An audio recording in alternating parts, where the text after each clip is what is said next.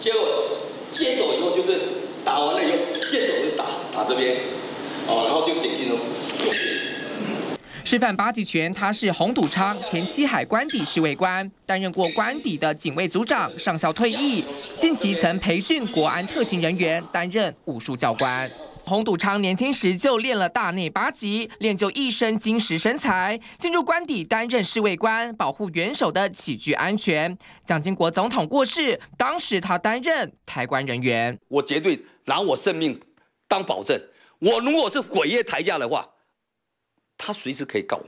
卖军宅闹出争议，当时他说自己是军人，讲求诚信，但检调却查出他近期涉入一桩魏超集团，以假美钞存入银行，再提领新台币，得手八千万。而洪笃昌就是提供假美钞的来源之一。他也。多次进出大陆，甚至可能跟大陆官方这边的人有接触。那时候检调机关就有在怀疑说，他会不会是跟大陆伪钞集团有接上头？